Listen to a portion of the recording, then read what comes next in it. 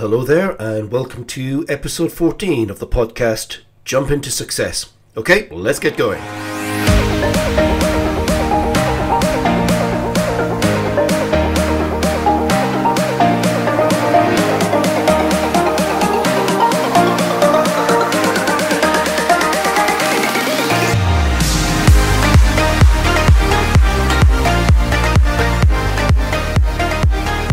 Dokie, okie dokie, okie dokie. Here we are, episode 14. Would you believe episode 14 already? And those of you who are eagle eyed, or perhaps I should say eagle eared, will have noticed that we've dropped the seasons. Uh, so, originally, when we started doing this, we thought we would do seasons uh, and have so many episodes in a season, but uh, it's taken off so well, we've decided just to carry on doing it. And hopefully, we won't miss any weeks out. Uh, we'll do our best not to. But we're just going to go with the, the episodes from here on in. So this is episode 14. So what have I got for you today? Well, first off, if I sound a bit different, it's because I've got this really, really horrible cold. It really wiped me out over the weekend. Um, I can kind of speak now, but I'm still coughing a lot, so I'm going to try and not cough too much on the recording and edit out where I do uh, when I do the post production stuff. But uh, but anyway, I'm surviving, and it's just one of those things. The weather's changed we're well into the autumn now. The summer really did end very, very suddenly. It was uh, pretty sudden. Uh, I'm looking out the window now and it's dark, it's pouring rain again, and I know there have been some floods up and down the country. So if you've been affected by that, I hope you're okay and that you can get everything mopped up and back to, to full speed and working order very, very quickly. So uh, my heart goes out to you because I know how horrible that can be. But anyway, uh, here we are, episode 14, and I got a quick announcement. So, the Be Inspired group is back up and running to full power, and our first live event will be on Thursday, that's the 26th, depending on what day you're listening to this recording.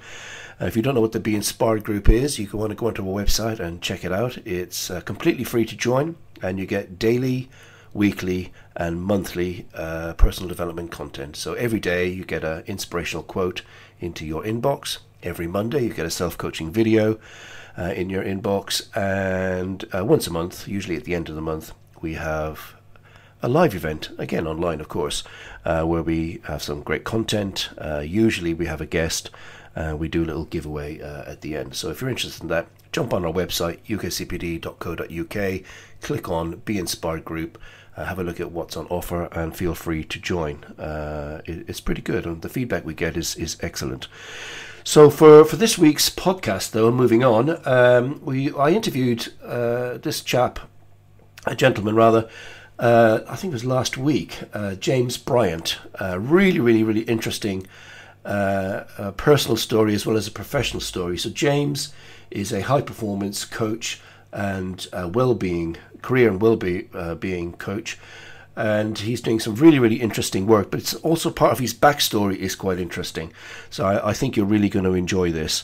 So uh, let me just without any further ado introduce uh, james to you and i hope you enjoy uh, this. I know i really enjoy speaking to him. He's doing amazing work and we'll put his contact details in in the the show notes and if you'd like to reach out to him be sure to do so because he really is a great guy enjoy the show Okay, so hi James, it's really really great to uh, have you on to today's podcast. Um, uh, we sort of connected on LinkedIn, and I thought you were doing work-wise, uh, coaching and supporting individuals through, I guess sometimes difficult things that they go through uh, in life. And I thought, you know, listeners would really really be interested in hearing your story, more about what you do, and maybe a little bit of background as well. So I guess I'm going to start off with that, if that's all right. Tell us a little about you and maybe a bit of your background. Yeah, just who is James? Tell us all about that. Absolutely. Well, firstly, thank you for having me on the podcast. It's very nice to be uh, invited. Um, so, yeah, as you say, Tony, you and I met on LinkedIn. I think you came across my profile. I am a recent coach on started my business on my recently last year called the Mindful Gent. Uh, however, I my trade is I am a chartered surveyor. So I did 10 years as a chartered surveyor working for a global um, property organization. Um, and I really enjoyed it. However, I have epilepsy, and as part of my epilepsy and my um, my health, I suffered some depression and anxiety along with the medication I take. Yeah. And towards the end of my career within the property world, I figured that actually this is this wasn't sustainable for me to continue with. There was a lot of traveling. I had a lot of meetings, a lot of time spent on the train, um, and I knew deep down that the industry and the people that I were meeting wasn't going to be for me forever. Okay, so I umdenard for a while about what to do next. I didn't actually know what to do next. And it wasn't until I found a coach, a life coach, and it took me to cut a long story short, it took me around 18 months from when I was a chartered surveyor to actually leave the company that I was in. It took that long because I was I was there as a graduate. I there through my professional qualifications that took me four years. I was there through, you know, going kind of up the hierarchy with um, work, and I did really enjoy it. But there were things that held me back within the property industry that we can talk about um, that I isn't kind of that are kind of against my own values. And yeah, yeah. Um, I'm very pleased that I was able, with the help of my coach, who I have, I still have to this day, um, was unable to get me out of the situation. And I developed a um, I, I, developed kind of the new era of James. And it wasn't until I had a period of time off work. So I had a year off and I realized that I wanted to work for a something that was close to my heart, which was men's mental health.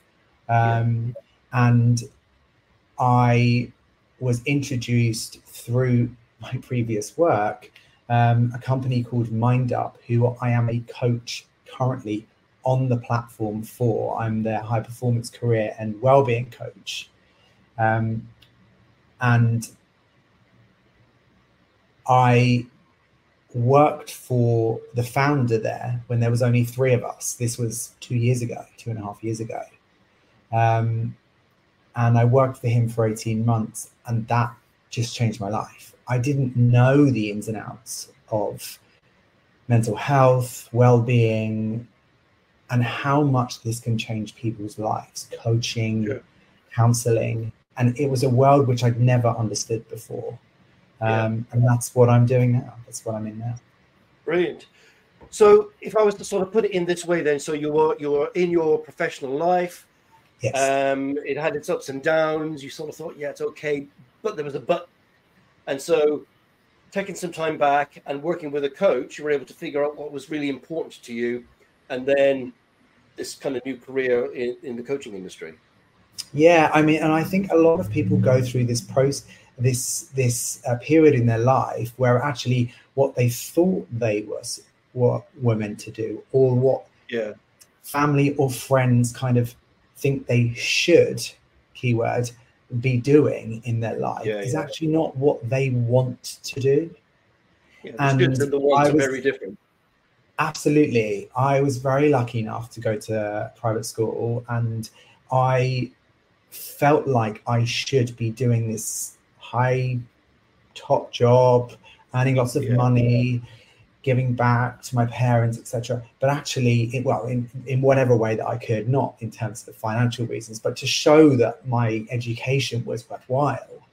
And I yeah. thought that by working for this company, for this brand, that it was going to help do that for all of us, and particularly me to kind of give back to them, to show them that.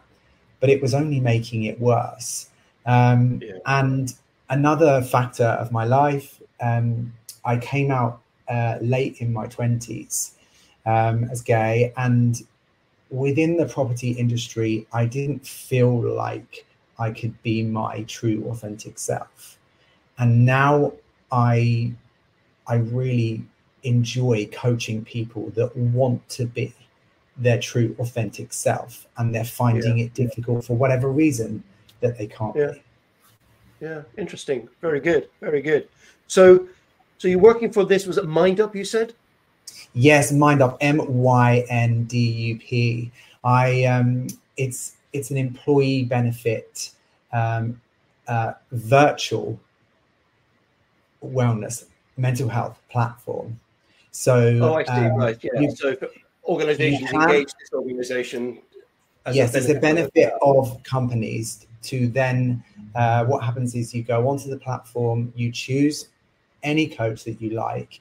Uh, everything is confidential; it's private, um, and you, you, how you however you can do this privately, so anyone can go onto the MyndUp uh, platform. But they, what's different to MyndUp is that they have an array of uh, practitioners. It's not just coaches. It's not just counselors. There is yeah.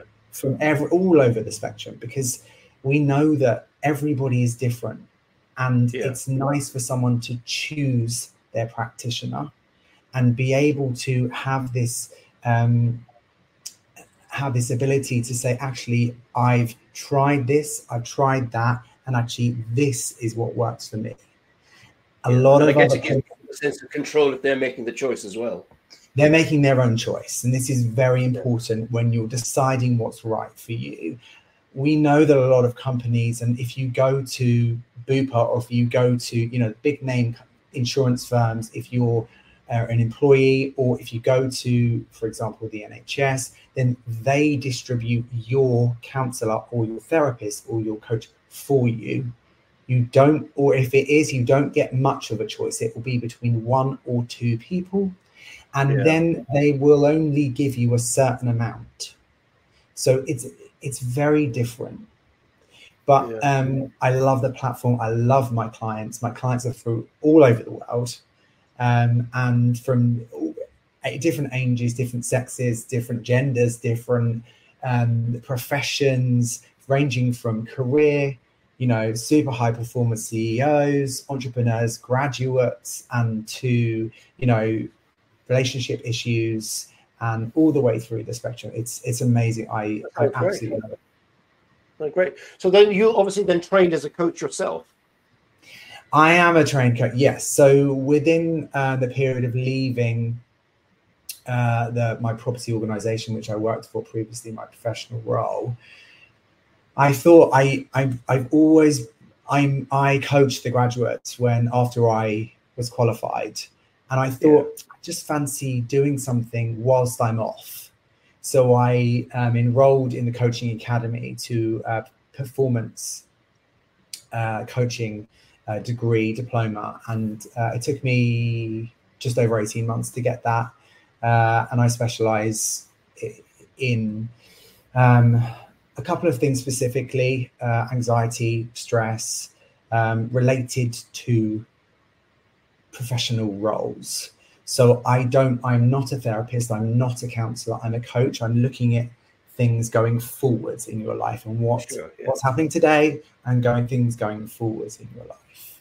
So career development, part, road path, setting out goals, all of those sort of stuff um, with with with men, with women, and everybody in between. Yeah, great.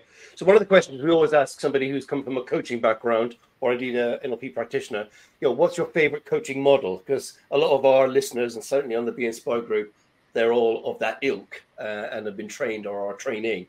we always ask what your favorite sort of coaching model is. It's a great question. I think because there are so many, it's really yeah. difficult to answer that. And I think the model you use to, is the, the changes on the person that you're with.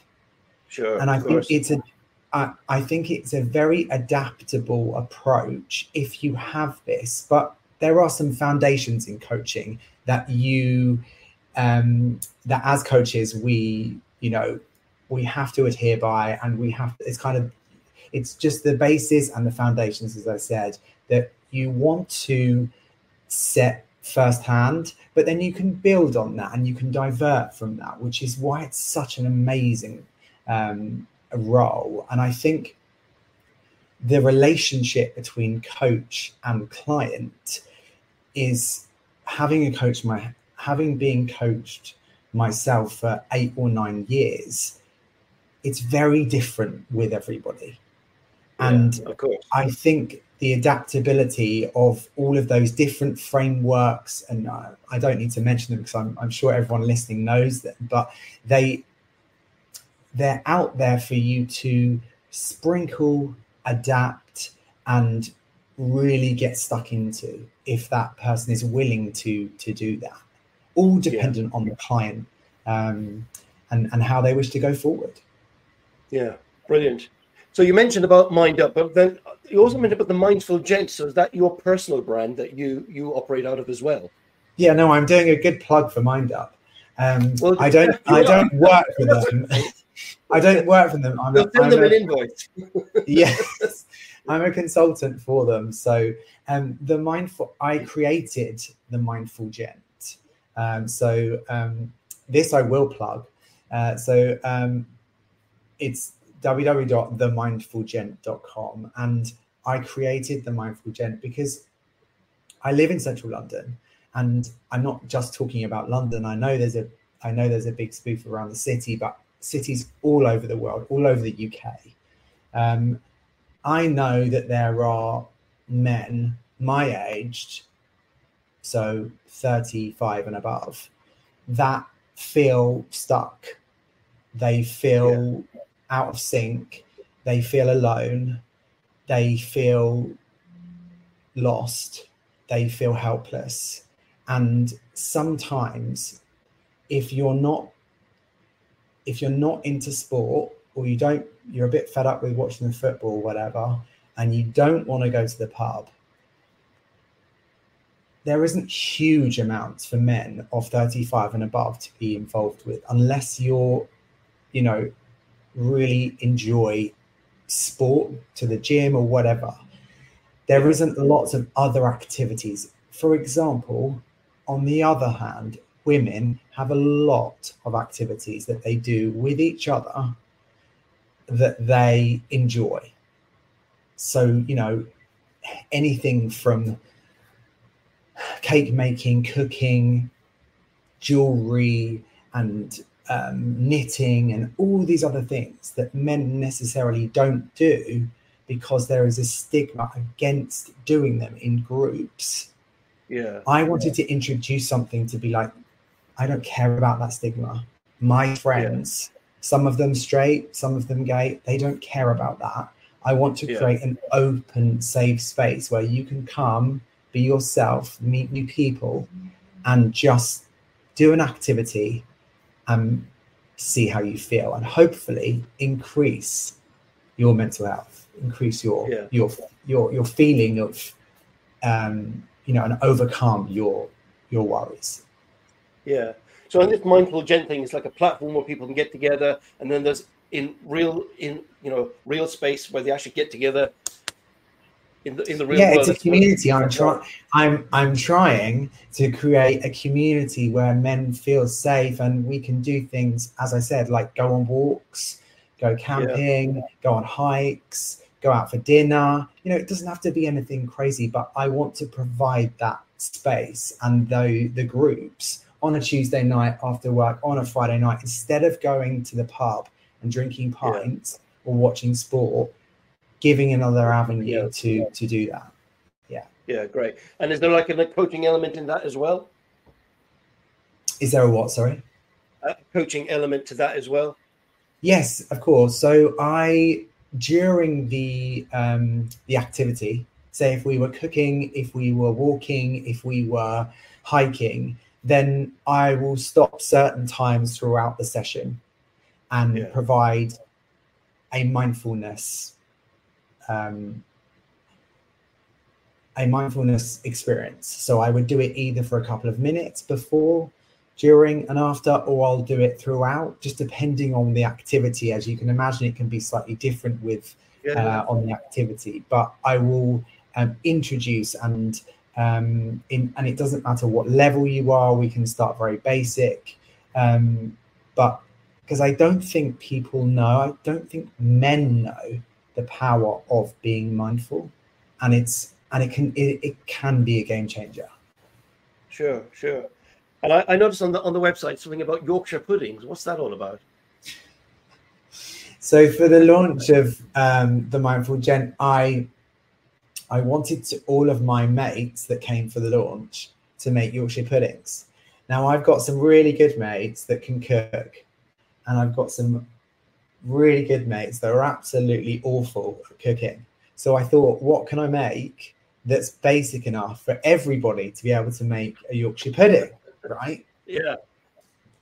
So I spoke to my mum, I spoke to my dad, and because my dad can't cook and my mum's a cook. So we all three of us practiced and had a go at making Yorkshire pudding. It was a mess. It was chaos. But it was very, very fun. And when I did it with mum and dad, and I did it with the boys on the launch day, I think they all realized actually that it doesn't matter what you do, what the activity is. Yeah. I burnt, I burnt some of them. We were laughing about some of them weren't cooked. I actually batched uh, a load of sausages and we had um, toad in the hole, so everyone had lunch afterwards. So we actually used the ones that we that we could use. So we did none none went to waste. But um, the point was that the boys realised that actually you don't need to be watching football or drinking beer. And I, and I have nothing against football at all, not at all. I actually like football, but it doesn't have to be all the time and you no. you can take moments out of your life to meet other people that might be going through divorce i've got, I've got a friend that's going through divorce i've got a friend that's going through he, he's really struggling um, he's been laid off recently one friend that's going through retirement they're just finding themselves and it, and you know life happens so it's really nice to get a group guy a group of guys together and do some you know just some silly things. Yeah. And you're right, life does happen. And if you're not sometimes taking that deliberate decision to take a little bit of time back, step back, and engage yeah. real human, get away from the screens, the football, and the pub environment. Yeah, I get what you're saying. It's probably very, very important. And especially if you're at a point in life where you're thinking, crikey, where am I going? What's going on? Yeah, we, I, the the group is for all men and as i said i I'm, and i mentioned i i am a gay a proud gay man um i feel like when my straight friends come and there is a group of gay men within the within the um uh the activity say well whatever we were doing yeah. i've noticed that um and straight my straight friends have told me that they feel relaxed around gay men because yeah. they feel like they're they don't need to be this kind of they don't to, they've got nothing to prove yeah and they don't need to you know they don't need to be this masculine over the top you know yeah, macho man of stigma yeah. that we all think a man should be who knows what that is yeah. anymore? Is it? We're 2024, yeah. and frankly, uh, hopefully, I mean, I don't surround people that care about what the description of that is, but they feel more relaxed, and I feel feel like they're able to share stuff more. Yeah. Even what I want to provide, Tony, with by doing the mindful gent and in any coaching session that I do is some value I just yeah. want to I just want that person to take, even if they take one thing home with them that's of value. Yeah. I am so pleased. Yeah. Because they've come here, they've they've given up their time and they've opened their hearts. And I really respect people to do that because it doesn't it's it's really difficult even to come outside of your comfort zone and step inside someone's house step inside sure. inside of a team of guys you you you don't know. That's really difficult now to do that. Yeah. To be you think you're going to be judged. You know, you're not sure if you're going to fit in. You you yeah. might have preconceived ideas about what the group's going to be like.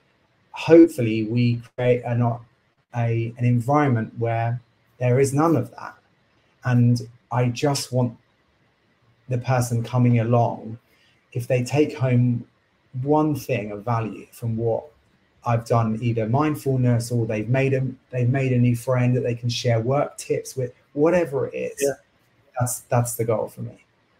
Well, I guess if they, once they've stepped into that space and they realize actually this is good and I'm getting something out of it, even if, as you say, one small thing, it increases their self confidence to go back another time or to engage uh, in other type of activities that are not. Because when you get on the pub, it, it is kind of like a disguise. You're in a certain way, you dress a certain way. There's loud music more often than not. You're drinking. There's probably some, you know, telly on as well as a lot of distraction. It, you're not really yourself. I think if you step into a more, uh, you know, managed, safe space, you are able to kind of go, well, actually, these this is what's going on for me. So I can imagine that's a very powerful and um, almost empowering place to be. But I'm guessing that first step into to, to your event is probably a bit scary. Yeah, I think so. I I, I have I have um, guys messaging me saying I really want to come. I'm trying to bring up, build up the courage to come. Is there anything yeah, that you yeah. can say or do? And I, I say, just come when you're ready. You know, there's no rush. There i'm not i'm there's certainly going to be no force from me. Come when you're ready. And you need to do things when you're ready. Sometimes you do need to be um, coached into a, a, little bit because everybody yeah. needs everybody needs that now and again yeah. you know go and come along. You, you, when you get here it's never as bad as when you think it is. But it's yeah. that it's that feeling of being judged if you're especially if you're going through things at the moment and if it's work related if it's work relationship related if it's personal and you just don't want to be on your own if you feel stuck if you feel alone then if you can get one thing out of being it's something also being in a group and having uh, some like chat amongst men and it's mm. outside of the chat of the pub chat and the sport chat Mm. So it's chatting about feelings, dare I say it, and it's chatting yeah. about you know, you know, I'm ret- I'm retired and I'm golfing, but I'm just not enjoying it, and you know, yeah. that sort of stuff, or many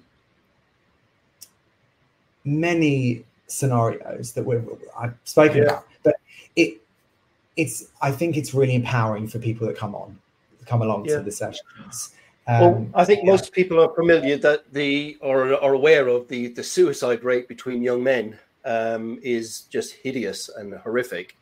Um, and I think even this current government have realised that you know there's a lot of healthcare provision for women, but often there isn't for men, or men have that sort of thing they don't need to look after themselves because it kind of shows weakness. So I think what you're doing is probably really, really powerful and probably very necessary. Um, so, you know, I want to say well done on, on what you're doing there because it does sound like you're really doing something that'll make a big, big, big difference to the chaps who step over the threshold uh, and engage in the, in the process. That's really kind of you to say. Uh, yeah, I mean, I think you you really hit you you really you brought up something which is very touchy at the moment. Um, mm. We've seen a real increase in young boys, young men um, mm. that unfortunately have taken their own lives at such a uh, you know such a precious time in their age uh, and, in, and and we don't know exactly what's going on with them at the time but if there are more avenues in which they can just speak to someone for yeah. free because you know therapy and counseling and coaching is expensive and you know, I've always said to someone, any of the guys that that come along to the activities, I'm more than happy to have a chat with you. For, you know, yeah, I'm not. Yeah. I've I'm not going to be charging loads of money just on the first go. That's it's yeah. insane. That's not how you build up a business. And right. I think it's really important that you that um, people that are um, building up their own business or starting up on their own um, just reach out and to say that they are able to help people when they when they can because we know it's yeah. expensive to do it. Yeah brilliant. Well look um, this has been great. I'm going to ask you one last question and i know as coaches we tend not to give advice and we're sort of allergic to the idea of giving advice to but if if somebody was listening to this podcast right now and they were at that sort of point in life where they're stuck state or maybe a bit of anxiety about where they're going in life or feeling a bit of you know that kind of god i'm on the hamster wheel i'm not sure what bit of advice would you give them yeah amazing question. Um, so I've been there. First of all, I was that guy. yeah, yeah. I I've been there. Um, it's very difficult. I think the thing to do is to really take some time on your own to to figure out what it is that you want yourself. Nobody else, no boyfriend, no girlfriend, no mom, no father, no other person, what it is that you would like. Hmm. Get that straight. What it is that you want to change if something isn't right in your life. Mm. And maybe write down a couple of things that you think you are really, really good at and really strong at, like kind of your your your pros, and then maybe write so say say ten things, and then write ten things that you would like to improve on. Yeah. And this you you it's really strange when you can visually look at stuff it really change things that you'll you'll start brainstorming you'll start thinking if i could change my work if i could change my relationship is it my home setting? Is it where i'm living? Is it the tra- traveling to work? Is that what it's stressing me out? Is it money? Is it financial reasons? It, it can really release a lot of things that you're holding in. The other thing to do is to speak to someone that you trust. Yeah this is, you know, I, as we've just said, there are professionals like myself who you can speak to, who you can pay for, who are you you you know, um, and you will get that from. However, speak to a friend, speak to a colleague, speak to your manager, speak to someone that you just feel like you can trust. That yep. is golden and say to them that I'm not 100%. I'm I'm needing some direction. I just want to chat.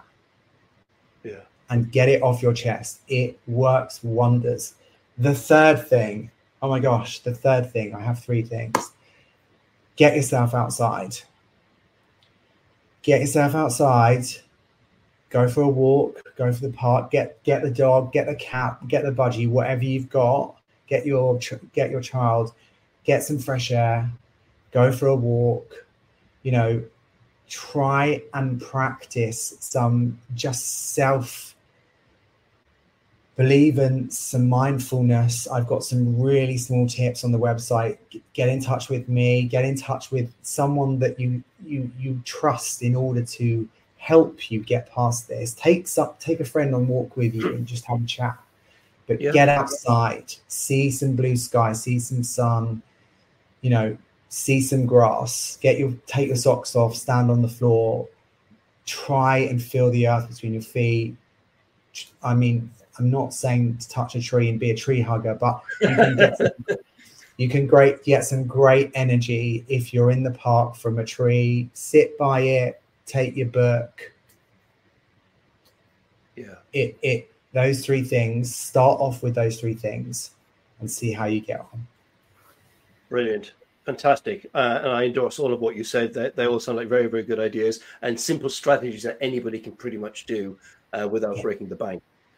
Well, James, this has been brilliant. I really, really appreciate your time. And I know uh, we'll, we'll put the link to your website uh, on, on the, uh, the episode details when we publish it. And uh, maybe we'll have you back again in the future when you, your whole sort of thing has developed even more so, and you've got big, big, big events, and you can be able to. well, I hope so. I mean, it's it's it's when you first start your business, it can be slow. So I'm just I'm out there for anyone who wants to reach out to me. I'm more than happy to have a chat. Please do so. Thank you so much for having me on today. I really, really appreciate you giving me a chance. Thank you so much. Absolute pleasure. It's been brilliant. Okie dokie. Thanks very much. Thank you, Tony. Okay, so there you go. Um, the interview we did with James Bryant, and I have to say, listening back to it again, really, really great content. Uh, great guy, really doing some really, really good work, and uh, we really appreciate his time uh, on the podcast. Let me know what you you think. Uh, we love getting all the feedback, and thanks again to all of those who have sent in feedback. Uh, we really do appreciate it. And actually, one other thing if there's a particular subject area you'd like us to cover around personal or indeed professional development, do let us know. Uh, if we can fit it in, we will. Or if we can, uh, you know, get somebody to, to interview on that subject matter, uh, we'll do that as well. So uh, be sure to subscribe. We've got lots more coming up in the coming weeks and months. And uh, till I see you next time or hear from you next time, take care of yourselves and uh, enjoy the rest of your week. Bye for now.